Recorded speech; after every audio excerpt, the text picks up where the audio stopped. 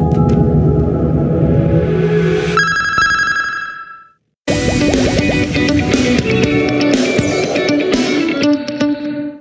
Senhoras e senhores, quem aí gosta de música? Música assim ao vivo no festival, com muita gente cantando junto, emoção explodindo no peito.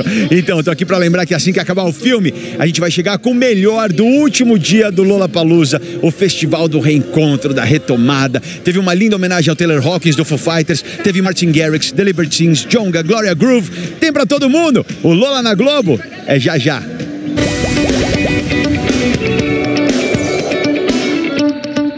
Oferecimento